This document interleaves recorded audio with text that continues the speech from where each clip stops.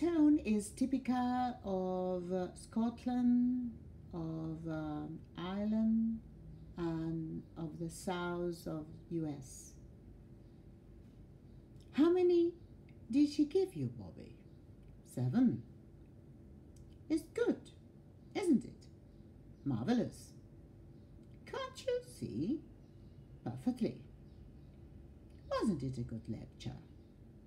Very good. Have you ever been to York? Many times. It was better the second time, wasn't it? Sorry, it was better the second time, wasn't it? Much better. Now remember what I've said, Peter. Yes, Daddy. You won't tell us so, will you, John? No, Mrs. Harris. No, Mr. Harris. It's rather difficult, isn't it? Terribly difficult. Was wearing a purple stock. She was wearing purple stockings. Purple. Now there's a thing. We're having strawberries for tea. Strawberries. Oh, good. I got ten pounds. I got ten pounds for it. Ten pounds. Sorry, ten pounds. You were lucky.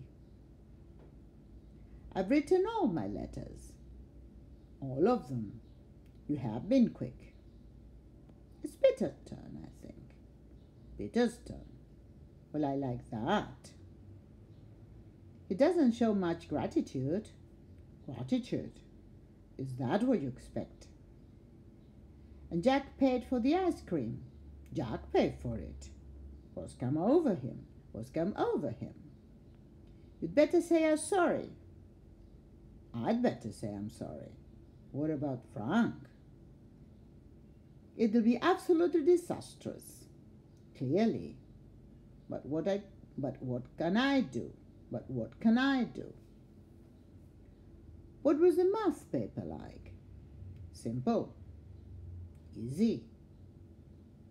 A lovely take. Who made it? Who made it? A lovely Kate. A lovely Kate. Who made it? I did. Janet did. I did. Janet did. Are you sure? Certain. You've won again. Naturally. I'm good at darts. Whose is the new car? Peter's. Who's got it wrong? No one. None of us. You catch your train? Comfortably. Loads of time to spare. Anyone still need this?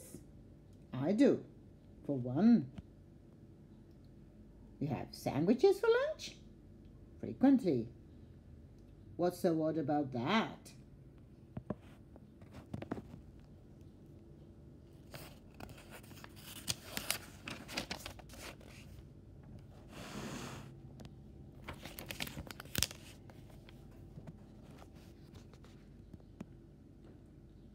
I'm afraid I've lost.